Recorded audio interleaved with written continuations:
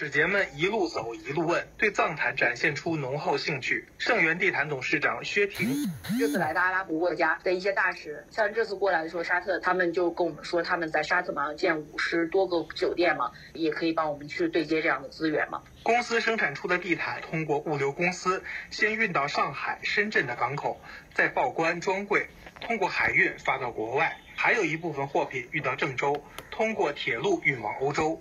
产品远销四十多个国家和地区。青海像这种西部的省份，它真的是需要把自己当地的资源利用好吧？所以我觉得西部大开发它是一个双向的，还是要有一个走出去的思路。我们会通过政府啊，或者是政府搭建一些平台，还有包括一些网上的渠道，去找到国外的客户。这两天，薛婷忙着面试，